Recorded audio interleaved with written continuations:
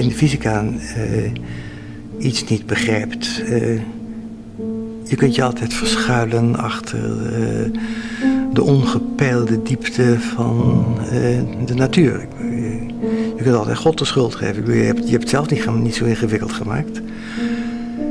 Maar als je programma niet werkt, dan heb je niemand waar je je achter kunt verschuilen.